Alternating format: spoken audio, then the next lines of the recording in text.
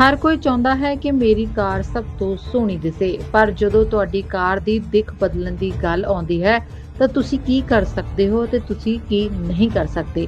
ਇਸ ਬਾਰੇ ਕਈ ਨਿਯਮ ਹਨ। ਤੁਸੀਂ ਆਪਣੀ ਕਾਰ ਦਾ ਰੰਗ ਬਦਲ ਸਕਦੇ ਹੋ, ਤਾਂ ਤੁਹਾਨੂੰ ਇਸ ਬਾਰੇ ਅਧਿਕਾਰੀਆਂ ਨੂੰ ਦੱਸਣਾ ਪਵੇਗਾ। ਜੇਕਰ ਤੁਸੀਂ ਆਪਣੀ ਕਾਰ ਨੂੰ ਬਹੁਤ ਚਮਕਦਾਰ ਬਣਾਉਣਾ ਚਾਹੁੰਦੇ ਹੋ, ਤਾਂ ਤੁਹਾਨੂੰ ਕਈ ਵਾਰ ਇਸ ਲਈ ਜੁਰਮਾਨਾ ਵੀ ਲੱਗ ਸਕਦਾ ਹੈ। ਅਸ਼ਲੀਲ ਜਾਂ ਅਣਉਚਿਤ ਇਮੇਜ ਵੀ ਤੁਹਾਨੂੰ ਝਗੜੇ ਦੇ ਵਿੱਚ ਪਾ ਸਕਦੇ ਹਨ।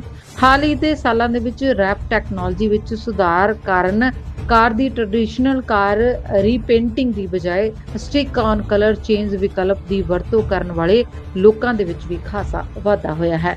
ਰੈਪਸ ਕੁਝ ਤਰੀਕਿਆਂ ਨਾਲ ਨਵੀਆਂ ਕਾਰਾਂ ਲਈ ਕਲੈਵਰ ਵੀ ਹੋ ਸਕਦੇ ਹਨ। ਉਦਾਹਰਣ ਲਈ, ਜੇਕਰ ਤੁਸੀਂ ਇੱਕ ਖਾਸ ਰੰਗ ਚਾਹੁੰਦੇ ਹੋ, ਪਰ ਤੁਹਾਨੂੰ ਇਸ ਦੀ ਉਡੀਕ ਕਰਨੀ ਪੈ ਰਹੀ ਹੈ ਜਾਂ ਫੈਕਟਰੀ ਕੋਲ ਇਹ ਰੰਗ ਉਪਲਬਧ ਨਹੀਂ ਹੈ ਤਾਂ ਤੁਸੀਂ ਇੱਕ ਹੋਰ ਆਸਾਨੀ ਨਾਲ ਉਪਲਬਧ ਰੰਗ ਖਰੀਦ ਸਕਦੇ ਹੋ ਅਤੇ ਇਸ ਦੇ ਉੱਪਰ ਇੱਕ ਰੈਪਿੰਗ ਇਹ ਯਕੀਨੀ ਬਣਾਉਂਦੀ ਹੈ ਕਿ ਤੁਹਾਡੇ ਪੇਂਟ ਨੂੰ ਕੋਈ ਨੁਕਸਾਨ ਨਹੀਂ ਹੋਵੇਗਾ। ਆਓ ਜਾਣਦੇ ਹਾਂ ਕਿ ਕਾਰ ਦਾ ਰੰਗ ਬਦਲਣ ਬਾਰੇ ਦੇਸ਼ ਦੇ ਵੱਖ-ਵੱਖ ਹਿੱਸਿਆਂ ਦੇ ਵਿੱਚ ਕੀ ਨਿਯਮ ਹਨ। ਆਸਟ੍ਰੇਲੀਅਨ ਟਰਾਂਸਪੋਰਟ ਕੌਂਸਲ ਦਾ ਤੁਹਾਡੀ ਕਾਰ ਦੇ ਰੰਗ ਨੂੰ ਸੋਧਣ ਬਾਰੇ ਦੇਸ਼ ਵਿਆਪੀ ਨਿਯਮ ਹੈ। ਇਹ NCOP ਦੇ ਅਧੀਨ ਆਉਂਦਾ ਹੈ। ਸੈਕਸ਼ਨ 3.14 ਦੇ ਵਿੱਚ ਦਸਤਾਵੇਜ਼ ਦੱਸਦੇ ਹਨ ਕਿ marking painting sign writing stripe body work ਉੱਤੇ ਫਿਲਮ ਜੋ ਕਿ ਬਹੁਤ ਜ਼ਿਆਦਾ ਰੌਸ਼ਨੀ ਨੂੰ ਨਹੀਂ ਦਰਸਾਉਂਦੀ ਨੂੰ ਕਿਸੇ ਤਰ੍ਹਾਂ ਦੇ ਸਰਟੀਫਿਕੇਸ਼ਨ ਪਰਮਿਸ਼ਨ ਦੀ ਲੋੜ ਨਹੀਂ ਹੈ ਜੇਕਰ ਤੁਹਾਡੇ ਮਨ ਦੇ ਵਿੱਚ ਕੋਈ ਖਾਸ ਡਿਜ਼ਾਈਨ ਜਾਂ ਕੁਝ ਖਾਸ ਰੰਗ ਹੈ ਤਾਂ ਤੁਸੀਂ ਰੈਪ ਜਾਂ ਪੇਂਟ ਦੇ ਕੰਮ ਦਾ ਪ੍ਰਬੰਧ ਕਰਦੇ ਸਮੇਂ ਤੁਹਾਨੂੰ ਉਸ ਦੇ ਬਿਜ਼ਨਸ ਨਾਲ ਸਲਾਹ مشورہ ਕਰਨਾ ਚਾਹੀਦਾ ਹੈ। ਅਜਿਹਾ ਨਾ ਕਰਨ ਤੇ ਜ਼ਿਆਦਾਤਰ ਅਧਿਕਾਰ ਖੇਤਰ ਵਿੱਚ ਜੁਰਮਾਨਾ ਜੋ ਜ਼ਰੂਰੀ ਹੈ। ਜੇਕਰ ਤੁਸੀਂ ਆਪਣੇ ਵਹੀਕਲ ਦੀ ਦਿੱਖ ਨੂੰ ਨਵੇਂ ਰੰਗ ਨਾਲ ਬਦਲਣ ਦੀ ਯੋਜਨਾ ਬਣਾ ਰਹੇ ਹੋ, ਤਾਂ ਤੁਹਾਨੂੰ ਆਪਣੇ ਸਥਾਨ ਤੇ ਲਾਗੂ ਸੜਕ ਅਥਾਰਟੀ ਨੂੰ ਇਸ ਬਾਰੇ ਜ਼ਰੂਰ ਜਾਣਕਾਰੀ ਦੇਣੀ ਚਾਹੀਦੀ ਹੈ।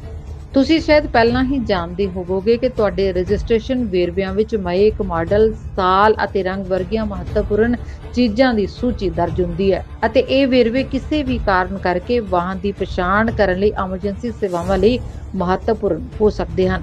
ਜੇਕਰ ਤੁਸੀਂ ਅਧਿਕਾਰੀਆਂ ਨੂੰ ਰੰਗ ਬਦਲਣ ਬਾਰੇ ਦੱਸਣ ਤੋਂ ਬਚਦੇ ਹੋ ਤਾਂ ਪੁਲਿਸ ਤੁਹਾਨੂੰ ਫੜ ਵੀ ਸਕਦੀ ਹੈ। ਤਸਮਾਨੀਆ ਵਿੱਚ ਜੇਕਰ ਤੁਸੀਂ ਆਪਣੀ ਕਾਰ ਦਾ ਰੰਗ ਬਦਲਣ ਬਾਰੇ ਸੋਚ ਰਹੇ ਹੋ, ਤਾਂ ਤੁਹਾਨੂੰ ਇਹ ਸਲਾਹ ਦਿੱਤੀ ਜਾਂਦੀ ਹੈ ਕਿ ਜੇ ਤੁਸੀਂ ਕਿਸੇ ਵਹੀਕਲ ਨੂੰ ਇਸ ਤਰੀਕੇ ਨਾਲ ਬਦਲਦੇ ਹੋ ਕਿ ਇਸ ਦੀ ਪੂਰੀ ਹੀ ਦਿੱਖ ਬਦਲ ਜਾਵੇ ਜਾਂ ਇਹ ਆਸਟ੍ਰੇਲੀਆ ਡਿਜ਼ਾਈਨ ਨਿਯਮਾਂ ਦੀ ਪਾਲਣਾ ਨਾ ਕਰੇ, ਤਾਂ ਤੁਹਾਨੂੰ ਆਪਣੇ ਵਹੀਕਲ ਦੀ ਜਾਂਚ ਕਰਾਉਣ ਦੀ ਲੋੜ ਪੈ ਸਕਦੀ ਹੈ। ਵੈਸਟਰਨ ਆਸਟ੍ਰੇਲੀਆ ਦੇ ਟਰਾਂਸਪੋਰਟ ਵਿਭਾਗ ਨੂੰ ਇਹ ਯਕੀਨੀ ਬਣਾਉਣ ਲਈ ਤੁਹਾਨੂੰ ਵਹੀਕਲ ਦੇ ਵੇਰਵਿਆਂ ਦੀਆਂ ਤਬਦੀਲੀਆਂ ਦਾ ਫਾਰਮ ਭਰਨ ਦੀ ਲੋੜ ਹੁੰਦੀ ਹੈ, ਤਾਂ ਜੋ ਇਹ ਯਕੀਨੀ ਬਣਾਇਆ ਜਾ ਸਕੇ ਕਿ ਡੇਟਾ ਉਹਨਾਂ ਅਤੇ ਤੁਹਾਡੀ ਰਾਈਡ ਦੇ ਵਿਚਕਾਰ ਮੇਲ ਖਾਂਦਾ ਹੈ। ਨਾਰਥਰਨ ਟੈਰੀਟਰੀ ਇਹ ਸਪਸ਼ਟ ਨਹੀਂ ਕਰਦਾ ਕਿ ਪੇਂਟ ਬਦਲਣਾ ਜਾਂ ਰੈਪ ਕਰਨਾ ਇੱਕ ਸਧਾਰਨ ਫਾਰਮ ਭਰਨ ਵਾਲਾ ਕੰਮ ਹੈ, ਜਾਂ ਤੁਹਾਨੂੰ ਇਸ ਦੀ ਜਾਂਚ ਕਰਨ ਦੀ ਵੀ ਲੋੜ ਹੈ।